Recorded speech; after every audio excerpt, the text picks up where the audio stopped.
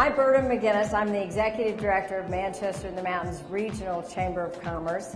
And I have been invited to be the commentator of the what we hope will be the first annual Manchester in the Mountains Spring Fashion Show, which is the brainchild of the folks here at Equinox Village and in principally Ashley Brennan Jewett. So she's the creator of our afternoon. We're going to show you some wonderful things. We have 35 models. We have all of our great retailers represented. And so I'm going to step back and we're going to begin the show.